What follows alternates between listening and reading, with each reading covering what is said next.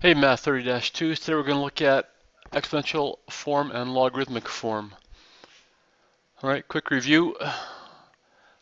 Last section we learned the difference between logarithmic function and how it's an inverse of an exponential function. For example, the exponential function y equals 2 to the x has the inverse of x equals 2 to the y, and that's the same as saying y equals the log of x base 2. So an exponential function with a base of b has this equation, y equals a times b to the x. We've got these restrictions, a cannot equal 0, b must be greater than 0, and b can equal 1. A logarithmic function with a base of b has the equation y equals log of x base b. We've got these restrictions, x must be greater than 0, b must be greater than 0, and b can never equal 1. Note that the inside of the logarithm is called the argument. All right and the base of the logarithm is the same as the base of our exponential function, both bases of b, and the value of the logarithm is y. Recall the common logs use the common log button on our calculators and they always have a base of 10. So y equals log of x base 10 is often written as y equals log of x. So without a base written, it's understood to be base 10. All right, and y equals log x and y equals 10 to the x are inverse functions. Natural logarithms use a natural log key. They have a base of e. So y equals log of x base e is written as a, y equals the natural logarithm of e. You can check those out in your calculator. All right.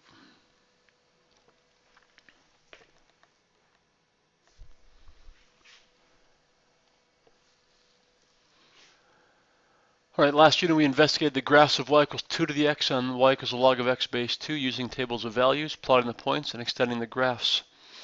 So we'll use the tables and the graphs to investigate statements in exponential form and in logarithmic form. So the graph of y equals 2 to the x is given right here. The graph of y equals the log of x base 2 is given right here. We're told they're inverses of each other.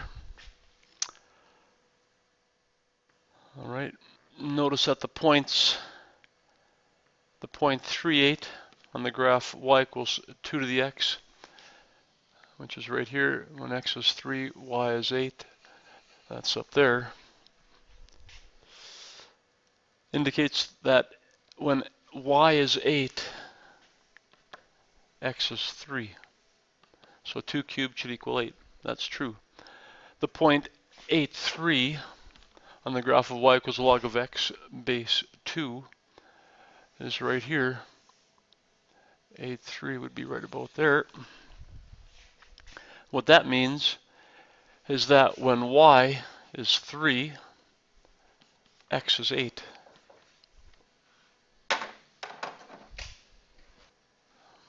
So if we read part A here, what statement can be made from the point negative 2, 1 quarter in the graph of y equals 2 to the exponent x? Well, we can say when y is a quarter, x should be negative 2. So does 1 quarter equal 2 to the negative 2? Yeah, that's a true statement. All right. What statement can be made from the point 16, 4 in the graph of y equals the log of x base 2? Well, again, when y is 4, that says that x is supposed to equal 16. So log of 16 base 2 should equal 4. If you look in the graph, that's a true statement. Complete the table below showing statements in exponential form and in logarithmic form. So we can see that the log of 8 base 2 equals 3 can be written as 8 equals 2 cubed. So log of 4 base 2, well if I write this out, the base of the logarithm should be the base of our power. So 2 to some exponent should equal 4. So we can figure out what that exponent is. That exponent should be 2. So 2 squared should equal 4. Therefore, the log of 4 base 2 should equal 2. The log of 2 base 2 should equal what? Well, again, the log of our, the base of our log is 2. And that whole thing should equal 2. So 2 to what exponent equals 2? Unless 2 to the first. So log of 2 base 2 is 1. Log of 1 base 2, what does that equal? Well, if I write this in exponential form, The base of the log is 2. The base of our power is 2. 2 to some exponent should equal 1. Well, we recognize 2 to the 0 should equal 1. So the log of 1 base 2 is 0. So if we see this pattern, let's complete this table. Log of 1 8 base 2. Well, if 1 8 equals 2 to the negative 3, then this whole thing should equal negative 3.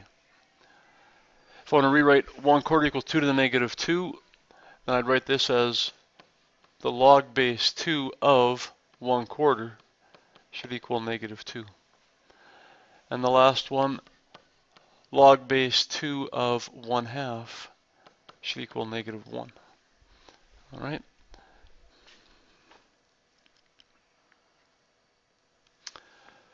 So use the patterns to develop uh, developed from the last example to write the following exponential statements in logarithmic form. So the log of my power is, uh, sorry, the base of my power is 10. I should write the base of my logarithm as 10 as well. I like to remember that a logarithm equals an exponent. So the log of 10,000 base 10 should equal the exponent 3. All right. Part 2, the logarithm has a base of 3 because the power has a base of 3. Therefore, the log of 81 equals an exponent of 4. So the log of 81 base 3 equals 4. Going backwards, then go in the other direction, write the logarithmic statements in exponential form. Well, the base of the logarithm is 5, so the base of my power is 5. I said that a logarithm really is just equaling an exponent, so 5 to the 4th equals 625. And over here, the base of our logarithm is 10, so the base of our power is 10. So 10 squared would equal 100 is another way to write that. So a logarithmic equation y equals log of x base b can be expressed in exponential form as x equals b to the exponent y.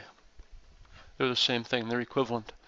And y equals b to the x can also be expressed as x equals log of y base b.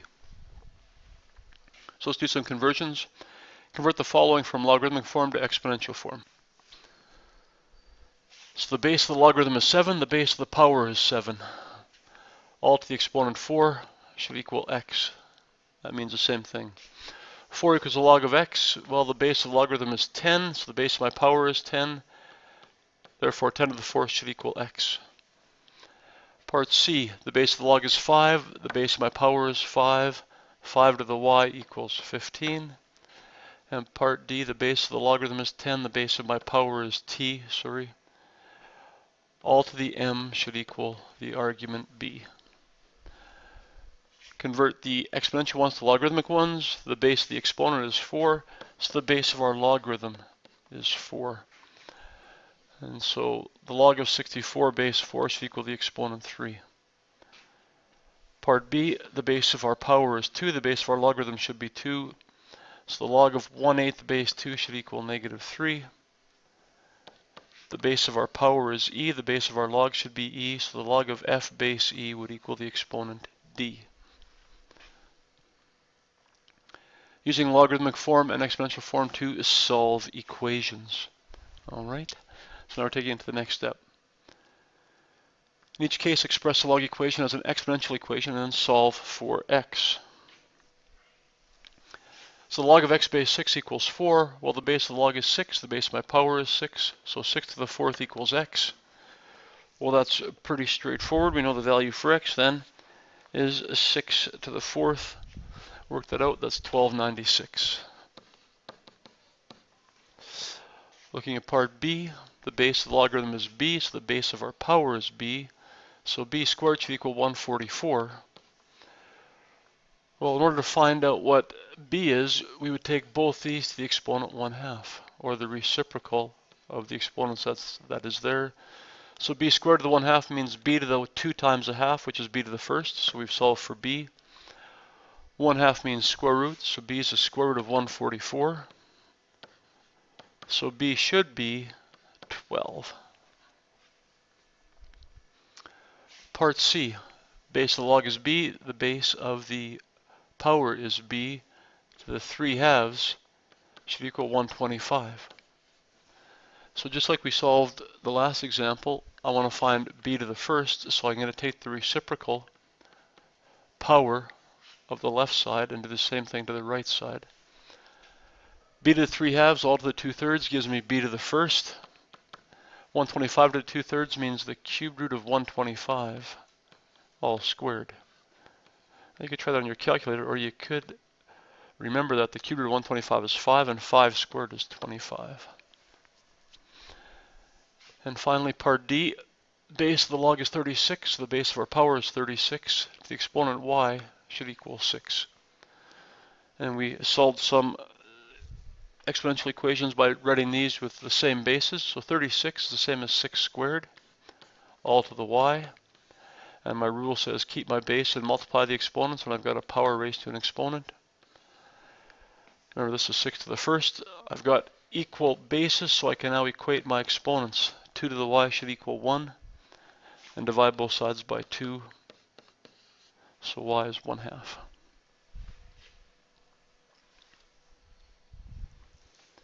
All right, page 256. By converting the logarithmic form to exponential form, calculate the value of t.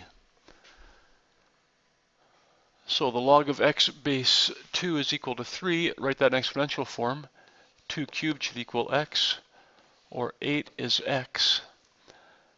Now that I know what x is, I can plug that value in for x. So the log of t base 2 should equal x, but we just solved x to equal 8. So that equals 8. Now rewrite this in exponential form. Base of 2 to the exponent 8 should equal t. And we know that 2 to the 8th is 256. So the value of t is 256. Same thing for part B. Log of x base 5 equals 2, so the base of 5, exponent of 2 equals x, so x is 25. Now that I know what x is, I can substitute that into my second equation. The log of x, well, x we just found out to be 25. Base t equals negative 2. Write this in exponential form. Base of t to the exponent negative 2 should equal 25. And how do I get rid of that exponent negative 2? Well, I take the reciprocal power, so negative 1 half, to both sides of this equation. So keep my base of t and multiply negative 2 times negative 1 half. I did that on purpose, so the power of t is 1. So I solve for t.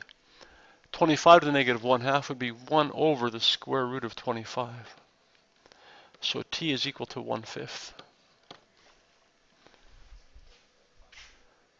logarithmic form of y equals a times b to the x. So a little change. We've been just dealing with b to the x. We're going to throw in the coefficient a and see what happens. We've changed from exponential form y equals b to the x to logarithmic form log of y base b equals x. Now consider to write how to write the exponential form of y equals a times b to the x in logarithmic form.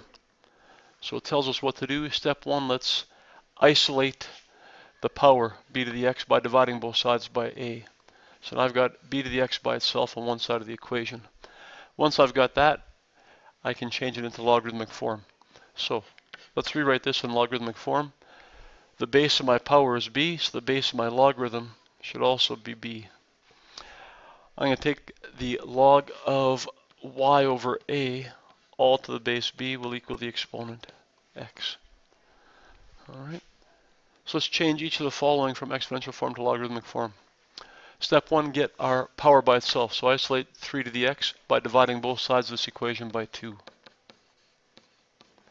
And now we can change this into logarithmic form.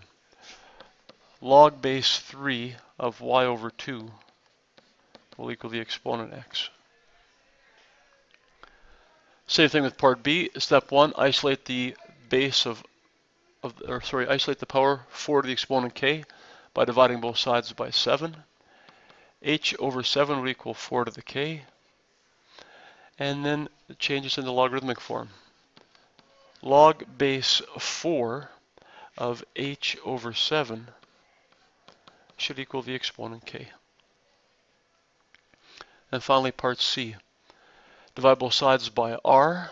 So we've got t over r equals s to the p. So we've isolated our power with base of s. Write it in logarithmic form. Log base s of t over r would equal the exponent p. Example 8. Change each of the following from logarithmic to exponential form, and they want that form to be y equals a times b to the exponent x. So I've got it in logarithmic form. Let's write it in exponential form. 7 to the exponent x would equal y over 3. But I want it in the form y equals a times b to the x. So I want to solve this equation for y. So I multiply both sides by 3. So 3 times 7 to the x would equal y. So our a value is 3 and our b value is 7.